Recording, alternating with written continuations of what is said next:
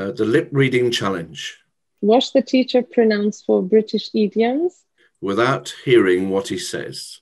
Can you guess what he's saying? Okay, so I'm going to have a lip reading. Ready?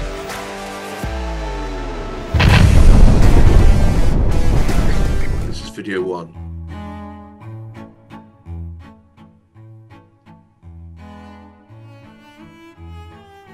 Time flies when you. This is difficult. I'm going to watch it again. It's not easy.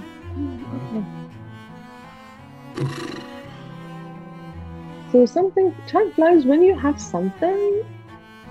There seem to be two. I don't know what it is. It's Time flies when you have funny things.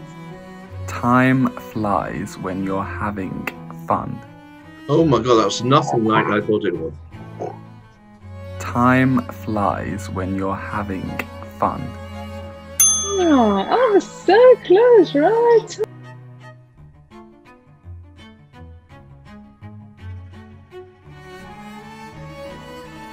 Hopefully, I could get this one ri- right.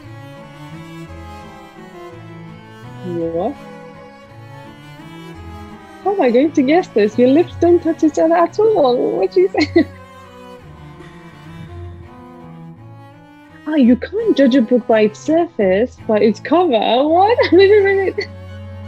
I'm guessing. Don't put all your eggs in one basket. Um, let's go into the last one. I think I, I got it. You can't judge a book, judge a book by its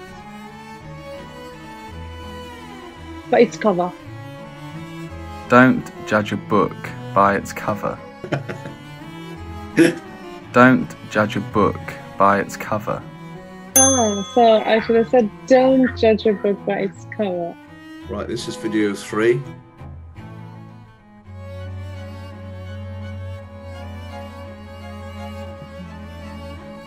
You can you don't. A couple of words with could be the, it could be think. No idea. There is a th in in between there, but Right. I'm just going to guess because I don't know. Uh, when the cat's away, the mice will play. ah, no, I can't. Curiosity killed the cat. OMG. I'm terrible at this. Curiosity killed the cat. Oh, okay. Number four.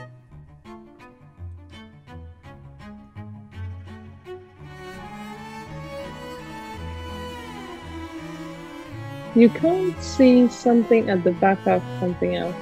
I think. Wait. I think it's look after the pennies and the pennies will look after themselves. No, no guess. No clue. Look after the pennies, and the pounds will look after themselves. And the what? Look after the pennies, and the pounds will look after themselves. Oh, oh yeah, I, I wouldn't get that one. No, I would never. It was difficult, by the way. Yeah, it's one great. of these things, once you tell me, I can see it. Well done, Shilan, and you won the task. Yay, I did it!